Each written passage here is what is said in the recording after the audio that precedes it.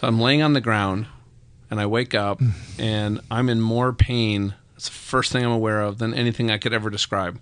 And there's people holding me down uh, my head, my shoulders, my hips. There was a woman holding my hand. And I could hear everybody talking, somebody praying. I heard the woman holding my hand say, I think he's going into shock.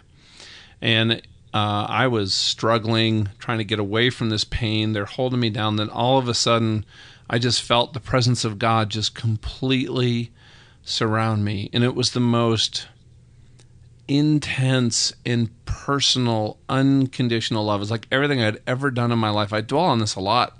Everything I've ever done in my life, good, bad, other, was like not even relevant.